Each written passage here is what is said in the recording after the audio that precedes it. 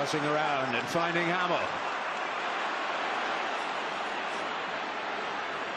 And inside he comes. That's what he wants to do. Oh, that is wonderful. He just loves this place. Another stunning goal from Adam Hammill of Barnsley. In this place, it's not Wembley, it's Oakwell South. A double triumph for Paul Heckingbottom. And delight for those who have travelled once again down from Yorkshire. Well, Lloyd Isgrove in the most unlikely fashion. Sealing promotion, popping up at that near post with a headed goal.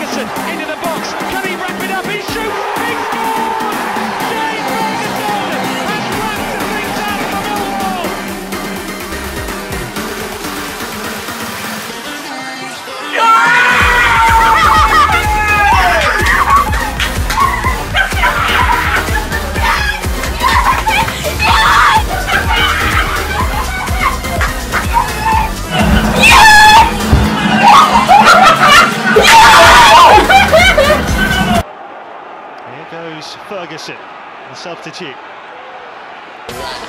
That's a good ball in. Morison! Well, it just had to be him, didn't it?